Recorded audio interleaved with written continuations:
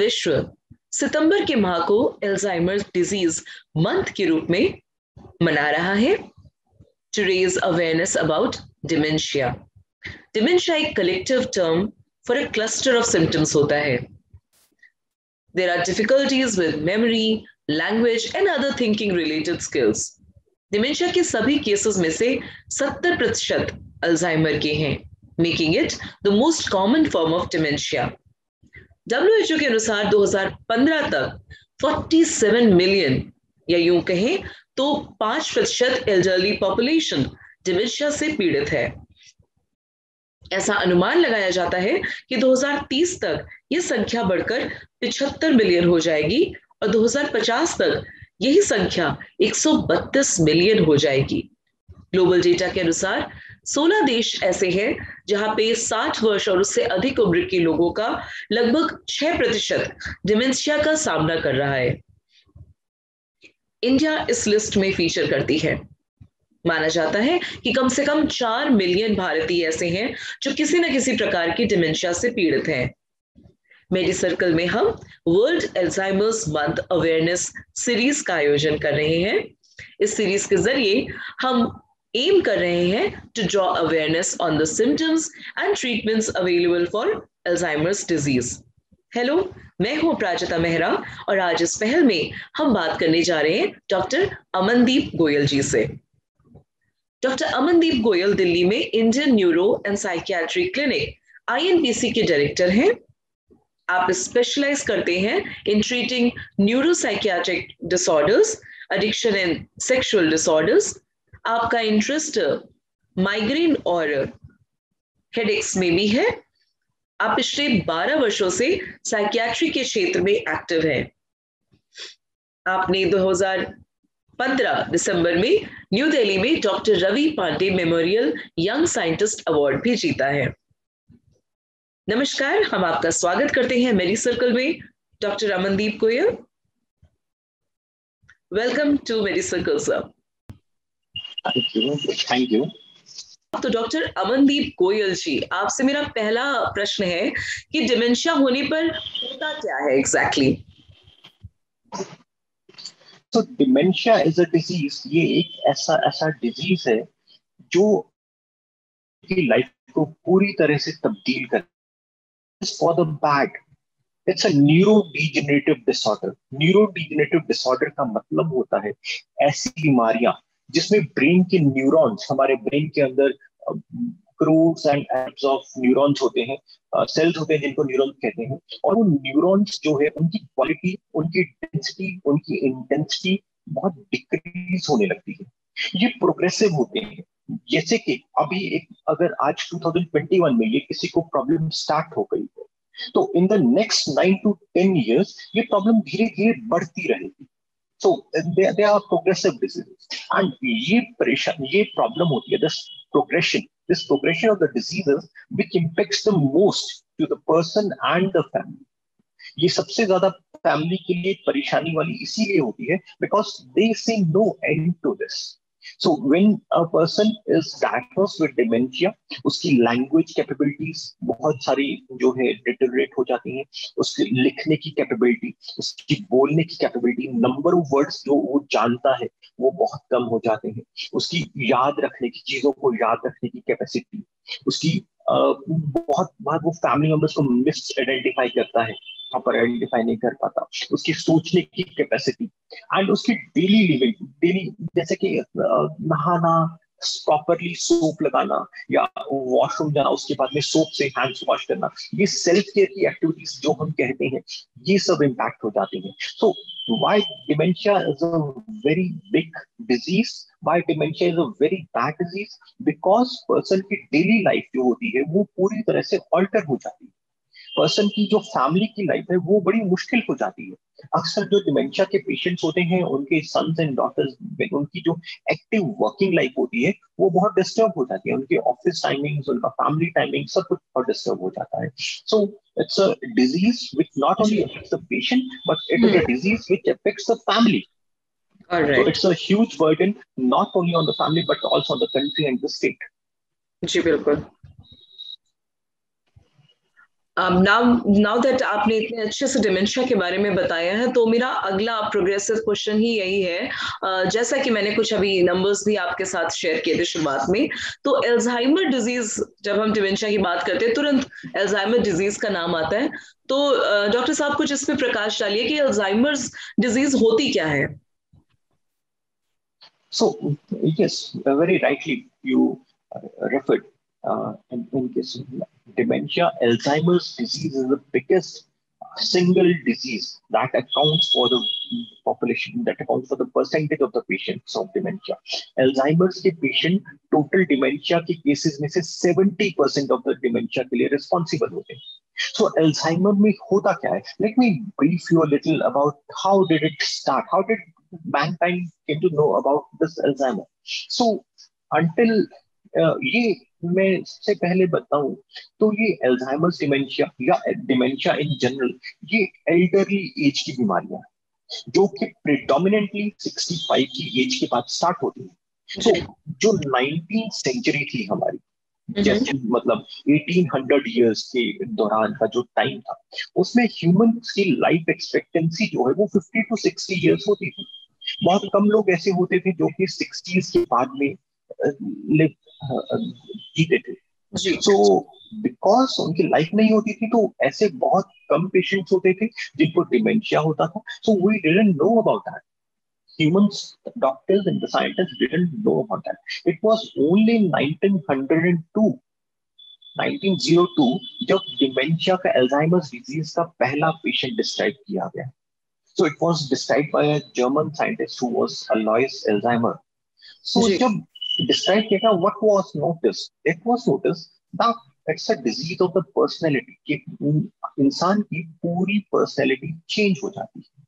वो बिल्कुल ही एक बिस्तर पे लिमिटेड रह जाता है। ही बिकम्स बेड रिटन वो कुछ कर नहीं पाता अपना ख्याल नहीं रख पाता। वो कोई अपनी डेली एक्टिविटीज़ नहीं कर पाता। वो इंटरेक्ट नहीं कर पाता लोगों से। वो उसकी कोई इच्छा ज़ाहिर नहीं करता है कि वो किसी से बात करे।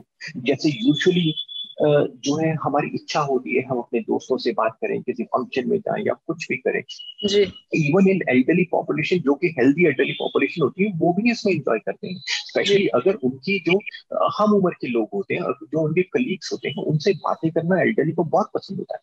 But in this disease state they have a total loss of interest उन्हें कोई भी इंटरेस्ट नहीं होता कि वो किसी से कोई बातचीत करे या कहीं पर जाए। एंड जो है, क्योंकि उनकी मेमोरी इफ़ेक्ट हो जाती है तो वो लोगों को पहचानने में प्रॉब्लम होने लग जाती है। उनका नाम याद नहीं रख पाते। अपने फैमिली मेंबर्स को पहचानने में प्रॉब्लम हो जाती है। अपने बेटे को कभी कभी वो जो है किसी और का नाम, किसी और नाम से बुलाएँगे वो अक्सर जो है खाना खाने के बाद भूल जाते हैं कि उन्होंने एक्चुअल में खाना खाया है या नहीं खाया। है तो वो कई बार तो there are number of cases patient जो। है कपड़े पहनना भूल जाता है। कि वो ये भी नहीं याद रख पाता कि उसे कपड़े कैसे पहनने। So, ये जितनी भी आप तकलीफें बता रहे हैं जी जी they very very serious problems for a person to suffer and go through तो अब जैसे कि आप इतनी चीज़ें जो बता रहे हैं तो ये तो समस्या हो गई। लेकिन इसमें जैसे आपने कहा ना कि ये बीमारी मात्र उस पेशेंट की नहीं होती पूरे परिवार की होती है। तो ऐसे में ऐसे पीड़ित एल्डरली की देखभाल कैसे की जाए? इसके बारे में कुछ सलाह दीजिए। जो लोग हमें देख रहे हैं मेरी सर्कल के माध्यम से उनको ये पता चले कि अगर उनके परिवार में कोई ऐसा व्यक्ति है तो उसे किस तरीके से वे हैंडल कर सकते हैं? See, the best thing for a person अगर अगर किसी के भी फादर को या मदर को या फैमिली में किसी भी uh, किसी को भी एल्जाइमर्स की बीमारी है the best thing to do is to go to a professional आप एक प्रोफेशनल के पास में चाहिए एक न्यूरोलॉजिस्ट के पास में या एक साइकाट्रिस्ट के पास में चाहिए जो कि इन प्रॉब्लम्स को हैंडल करते हैं। द थिंग इज़ नॉट ऐसा नहीं है कि वो ना, वहाँ से कोई ट्रीटमेंट बहुत ज़्यादा संभव हो पाएगा। शायद ट्रीटमेंट तो बहुत ज़्यादा संभव नहीं हो पाए बिकॉज़ इस समय ट्रीटमेंट हमारे पास है नहीं।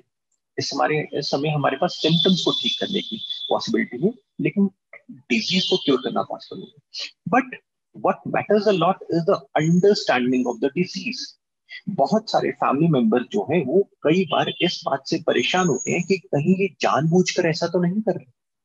लॉन्ग टर्म बीमारियाँ होती हैं तो उन्हें कई बार समझ में नहीं आता कि पेशेंट किसी किसी समय सही होता है और किसी किसी समय जो है बहुत डिस्टर्ब होता है तो उन्हें लगता है कहीं जानबूझकर तो नहीं कर वो उन्हें डांटने की हाँ, ज़्यादातर परिवार के जो सीनियर एडल्ट होते हैं वो सीधे ये दोषारोपण शुरू करते हैं कि अटेंशन सीख कर रहे हैं बच्चों की तरह जिद कर रहे हैं देखो ये नहीं करेंगे तो हम लोग सब ध्यान देंगे।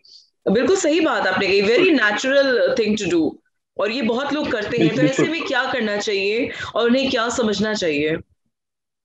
So, uh, probably a psychologist or a psychiatrist is the best person जो उन्हें समझा सके कि ये बायोलॉजिकल डिज़ीज़ है कि जो भी इंसान इससे अफेक्टेड है ही इज़ द विक्टिम वो विक्टिम है इस डिज़ीज़ का एंड उसे खुद को नहीं पता चल रहा है कि वो क्या कर रहा है।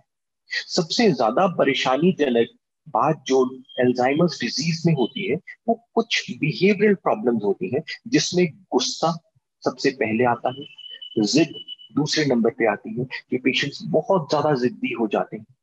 तीसरे नंबर पर आते हैं कुछ sexual behaviours inappropriate sexual behaviour जो कि एल्जाइमर्स की बाद वाली स्टेज में बहुत कॉमन होने लग जाते हैं रेदर देन एल्जाइमर्स बाकी तरह के कुछ डिमेंशियस में और ज़्यादा कॉमन होते हैं। तो इन चीज़ों के बारे में फैमिली को समझाना उनको इस नॉलेज से अवगत कराना अवेयर करवाना that these things are the symptoms of a disease person is not doing it volunteering and how to handle these things how to handle these things ये उन्हें समझाना बहुत ही ज़्यादा इंपॉर्टेंट होता है. And I have seen in my life the life of the caregivers of the family changes by 100% when they understand about the disease. जब उन्हें मालूम चलता है तो पेशेंट की ना केवल पेशेंट की लाइफ बल्कि केयर गिवर्स की लाइफ जो है वो बहुत ज़्यादा चेंज कर जाती है। उनके स्ट्रेस लेवल्स बहुत ज़्यादा चेंज कर जाते हैं। सो so, मैं इस इंटरव्यू में आपको कुछ ऐसे ब्रीफ टिप्स बताऊँगा जो कि फैमिली के लिए बहुत ज़्यादा बेनिफिशियल होते हैं बहुत ज़्यादा इंपॉर्टेंट एंड हेल्पफुल होते हैं। लाइक द सिंपल थिंग्स जो मैं हमेशा एक एल्जाइमर्स डिज़ीज़ के फैमिली मेंबर्स को एडवाइस करता हूँ, कोशिश कीजिए कि एक जो भी, जिसको भी एल्जाइमर्स है, उनका रूम जो है, वो हमेशा ग्राउंड फ्लोर पे हो। कभी भी ऊपर के फ्लोर में नहीं हो। कोशिश कीजिए, जो रूम की सेटिंग्स है, वो चेंज नहीं की जाए। जैसे चार पाई जिस कोने में लगी है बेड जिस कोने में लगा है वहीं पर रहे। राइट टेबल जहाँ है वहीं पर रहे है ना? तो ये चीज़ें प्लान के अकॉर्डिंग वहीं पर रहनी चाहिए ताकि वो इंसान एल्जाइमर्स वाला पेशेंट उसको याद हो सके धीरे धीरे कि यहाँ यहाँ पर चीज़ें हैं उसको चोट ना लगे। बिल्कुल अगर वो so, बदल जाएगा तो व्यवस्था तो फिर कंफ्यूज हो जाएँगे एंड भूल जाएँगे तो। Confused. It will affect him yes, right. he will get confused. Right. Yes. so the third thing is, third thing is very important कि अल्जाइमर्स के पेशेंट्स को फैमिली मेंबर्स को दिन में सोने देने से दिन में सोना उनका डिक्रीज करना है। They have to decrease the sleep duration during the day time उन्हें कोशिश करना है कि उनका रूम विंडो वाला हो, जहाँ से धूप अंदर आए, हवा अंदर आए। एंड हमारी क्योंकि बॉडी की जो डायनल वेरिएशन होती है हमारे अंदर हॉर्मोन्स रिलीज़ होते हैं वो नाइट में रिलीज़ होने वाले डे टाइम में रिलीज़ होने वाले अलग अलग होते हैं। एंड अक्सर जब वो डे टाइम में भी सोते हैं तो उनकी बॉडी कंफ्यूज हो जाती है इस बात में कि रात है या दिन है। और ये okay, उनका बॉडी क्लॉक इफ़ेक्ट होने लगता है। That's a very serious thing हो जाता है। ऑल राइट यस ये तो बहुत ही गंभीर चीज़ है और दे शुड बी हाँ जी वृद्ध लोगों को तो ज़्यादातर लोग घर में यही बोला जाता है आराम करें सोते रहें। आप कहाँ जाएँगे क्या करेंगे? तो अगर वो पूरा दिन भी वो व्यक्ति सोएगा तो सच बात है वो भूल ही जाएगा। बायो क्लॉक ही उसकी बदल जाएगी रिवर्स होने लगेगी। वेरी वेरी मतलब थिंग जो कि फैमिली मेंबर्स को मालूम नहीं होती मिस इन्फॉर्मेशन वो कुछ कर नहीं पाते। राइट. सिर्फ़ उन्हें अगर राइट चीज़ें मालूम चल जाए तो बिना दवाइयों के भी मतलब हम्म, बहुत सारी चीज़ें हैं जो बिना दवाइयों के भी इम्प्रूवमेंट ले आती And, and another thing which I will also like to emphasize is कि उनके रूम में एक वॉल क्लॉक ज़रूर होना चाहिए एंड दिन में कम से कम तीन से चार बार उन्हें टाइम बताना है एक कैलेंडर होना चाहिए, उन्हें डेट बतानी है, मंथ बताना है ईयर बताना है, उन्हें बार बार याद करवाना है, उन्हें अपनी फैमिली की फोटोग्राफ सिखानी है कि ये उनकी बेटी है, ये उनकी वाइफ है, उन, उनके नाम लिखने हैं। You know? So, like uh, we, uh, we all of us Indians must have watched that movie of uh, Amir Khan that came ten years back. I don't Ghazni, Ghazni, है So, uh-huh. so he was shown to be a patient who was suffering from short-term memory loss. Gee. So, in that, uh, what they had done that he was wearing a, a, a, necklace around his neck in which there were the multiple photographs no he was keeping those in the in his coat pocket. So right. there were multiple photographs, there were multiple cue cards, cue cards that were helping him to recognize. So that's a very valid technique.